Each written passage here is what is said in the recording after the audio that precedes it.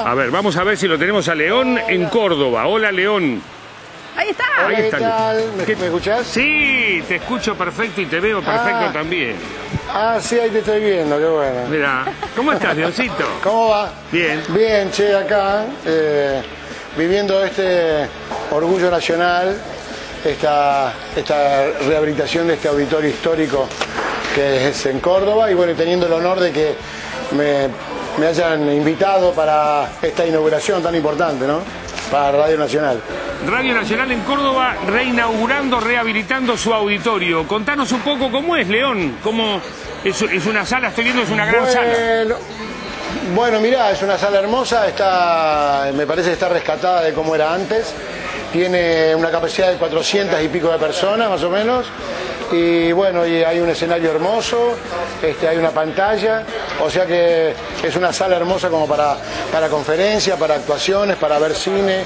Realmente, aparte, me enteré que están reconstruyendo este, un par de salas más que hay acá y también están reparando eh, un, par, un par de pianos históricos eh, que son que nunca se que gracias a Dios no se los afanaron viste este, y son uno es un Steinway por ejemplo no Un o sea Steinway, que bueno así es así es Y, y me imagino, veo que están preparando ahí para un show o bueno, habrá una ceremonia seguramente. Este, y, vas Claro. a, y vas a cantar un poquito. Sí, claro, voy a cantar unas canciones y bueno, el escenario es chiquito, por eso traje a un grupo que me acompaña a veces, que son las guitarras del amor, porque la, la idea que tuve para esta presentación es, eh, digamos, eh, traer, traer a la memoria a un montón de artistas que quisieran estar en este momento acá, en este lugar, ¿no? Ajá. Entonces voy a hacer un homenaje a Marianela Walsh, a Leda Valladares, eh, a las mujeres en lucha, eh, voy a hacer un homenaje a Atahualpa Yupanqui, a, Víctor Jara, a Violeta Parra, este, a Antonio Tormo, a Jorge Cafrune, a Atahualpa Yupanqui, este, y vamos a proyectar esas imágenes en, en la pantalla, ¿no? Como, como queriendo decir que están acá con nosotros conmemorando este día histórico acá en, en Córdoba. Hace un ratito pasó Joselo, que te mandó saludos porque dijo que va a estar con vos en unos días más, creo que actuando en Escobar, que anda con su camión radio itinerante por todo el país. te dejó un abrazo y hace poquito lo teníamos en las cataratas del Iguazú, estuvo allí con nosotros también transmitiendo y, y haciendo un poco de Sí, música. sí, Jo- Joselo, Joselo es un amigo, este, es un, lu- un luchador incansable respecto a la ecología, al agua, eh, políticamente claro y además es un, un- un via- un- un viajero como, como éramos nosotros en Ushuaia La Quiaca, como Claro. seguimos siendo, ¿no? ¿no? Cuando, y por eso eh, lo recordé inmediatamente eh, cuando apareció me trajo y sabía que iba a estar charlando con vos. Y acá en vivo en Argentina un poco hablamos todos los días, estamos tratando de, de redescubrirnos, ¿no? En esta cosa tan, tan plural, tan amplia, tan vasta y tan diferente que es la Argentina, que muchas veces cuando decimos, no, porque los argentinos somos así, somos asá, nos olvidamos que somos tan diferentes, somos tan increíblemente múltiples. Y vos que hiciste esa- ese trayecto una vez y mil veces, porque lo seguís haciendo, cada vez que vas a actuar por todo el país, estás en contacto con la gente. Una reflexión sobre eso, León. ¿Cuán grande y Bueno, cuán diferente es la Argentina? Bueno, es, como decís vos, ¿no? Eh, yo creo que no es una Argentina, sino son varias metidas en una cosa limítrofe, ¿no? Un- una especie de bife de chorizo. eh, que está, están metidas ahí este, muchas colectividades de muchos lados del mundo, eh, muchos originarios de muchos lados, eh, de- de- eh, que están en lucha. este, y bueno, es un país cosmopolita. Y, y a, y- y no- y no- y hay- a veces los periodistas eh, me, me hacen alguna pregunta como diciendo, bueno, ¿qué opinás de la juventud argentina? Y yo le pregunto, ¿cuál? ¿Cuál? ¿De, de dónde? Claro. ¿No? Porque yendo a los extremos no es lo mismo la juventud del impenetrable del Chaco eh, que la juventud de Buenos Aires, ¿viste? Y todos, todos cantamos el himno nacional y todos levantamos la bandera argentina cuando, cuando entramos al colegio, ¿no? ¿Y te seguís, te seguís sorprendiendo cuando viajás, cuando vas a un nuevo pueblo que no habías estado antes y te encontrás con gente, te, seguís sorprendiendo? Sí, absolutamente. Eh, mira, esto es una elección, eh, el de viajar, el de tocar en todos lados es una elección y es por, justamente por eso, para sorprenderme permanentemente, ¿viste? No me sorprendería en absoluto si me quedara a vivir en Buenos Aires, ¿no? aunque Buenos Aires en sí es una sorpresa, desde ya eh, una sorpresa incansable, ¿no? Pero bueno, el hecho de viajar por todos lados me causa eh, permanente sorpresa de, todo tipo, eh, culturales especialmente, ¿no? Vos sabés que en todos estos años que nos vamos cruzando por ahí y por allá, nunca te veo descansando. ¿Descansás alguna vez, León? yo, yo descanso trabajando. Este, yo no soy de descansar de estar en la playa acostado tomando sol, ¿viste? A mí, ese, ese tipo de situación realmente me estresa. es buenísimo el tipo. No, yo voy a una playa y me tengo que estar una tarde sin hacer nada, me vuelvo loco directamente. Sí, mirá, cuando, cuando, cuando hacemos eso a veces en familia, cuando hacemos eso a veces en familia, no sé, no puedo estar quieto, o me, alquilo una bicicleta, salgo a andar en bicicleta, salgo a recorrer lugares, eh, no sé, soy un tipo muy, muy inquieto realmente. Y bueno, que sé, a veces el, y además, bueno, tengo una profesión que justamente me acompaña a cómo soy yo, ¿no? Digamos. Así que yo, yo cuando era chico quería ser un artista de circo. Eh, a mí me llamaba mucho la atención cuando iban los circos a mi pueblo y los veía eh, vivir en, eh, en, esos trailers, ¿viste? Y decía, bueno, este tipo están cinco días, diez días acá, después se van a otro lado. Eso, yo quería esa vida para mí. Eh, y bueno, y lo, estoy logrando realmente. Ya hace 40 años de esto que estoy viajando por todos lados, así en micros, micros preparados para músicos, ¿no? Eh, y viajé, y además conociendo muchos lados del mundo gracias a la música, ¿no? Qué linda, no, me, gustó la imagen de la fascinación por el circo, que es símbolo de lo itinerante, ¿no? Del transhumante, del, que, claro, del que no tiene un lugar, no tiene un arraigo, o lo tiene, pero también es como que que esa vida y su arte lo, va llevando, digamos, sin límites y sin saber a dónde. Y que después del tiempo te haya pasado, es como en una búsqueda también, porque vos fuiste una, un artista capital en un momento, vivías en Buenos Aires, hacías grandes conciertos, y lo seguís haciendo. Pero digo, encontrar eso, ¿no? Y volver a lo original, como al, como al circo, ¿no? Como a eso, el juglar, el transhumante. Sí, bueno, yo, bueno, yo, yo traté esa transhumancia, digamos, de la cual vos hablás, traté de, perfeccionarla, ¿no? Sí, sí. Por ejemplo, también, también es bueno tener una casa en Buenos Aires, tener una familia y que la familia toda eh, sepa perfectamente cuál es eh, eh, tu itinerancia, ¿no? O sea, tus deseos realmente de, estar tocando por todos lados, ¿no?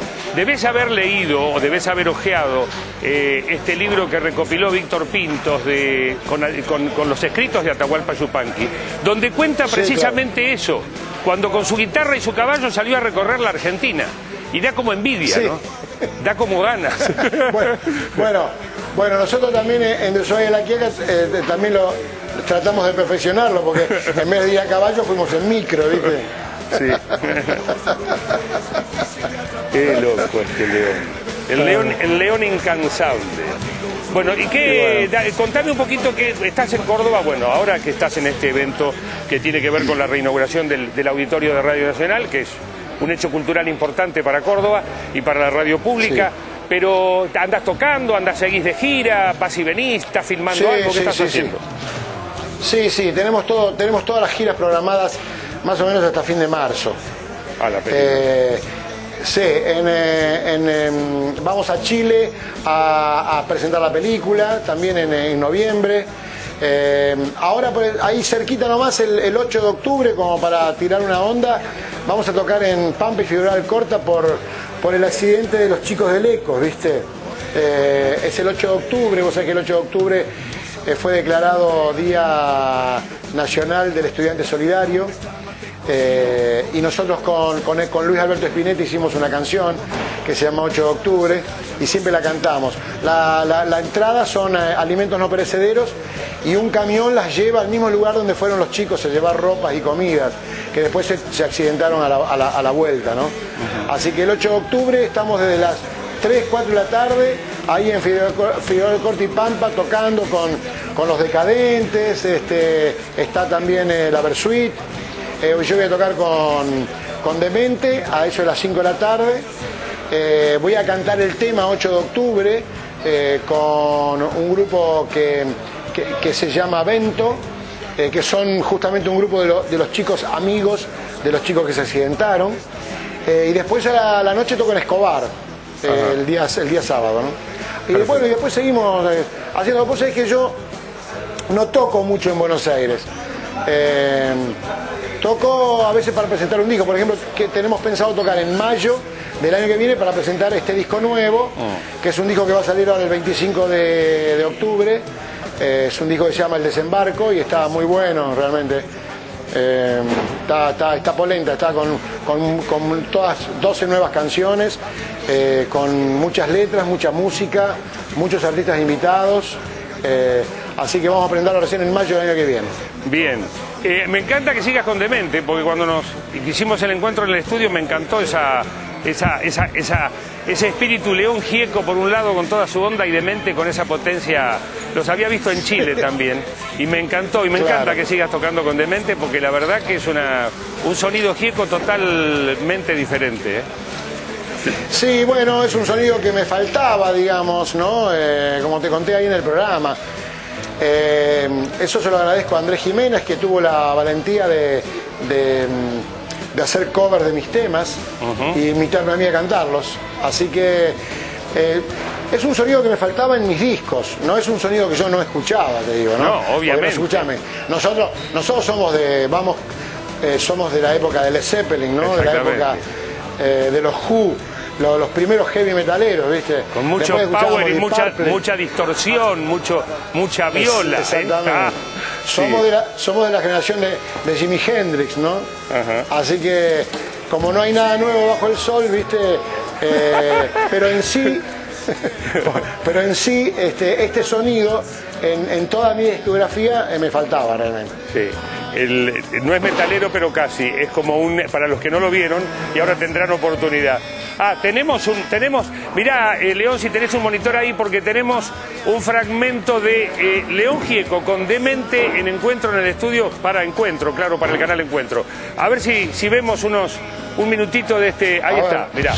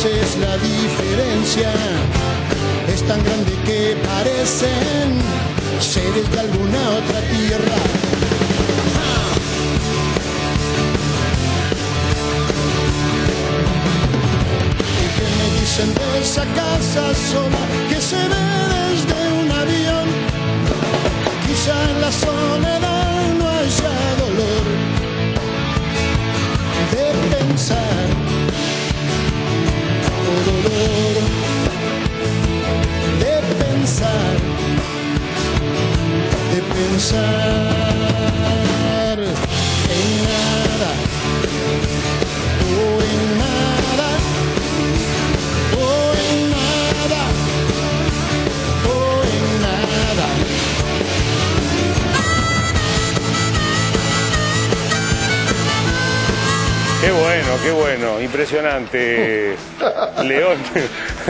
lo tengo a León ahí, no lo veo. Ahí, lo tengo. Che, León, tremendo eso como suena y cómo se vio, el lindo programa.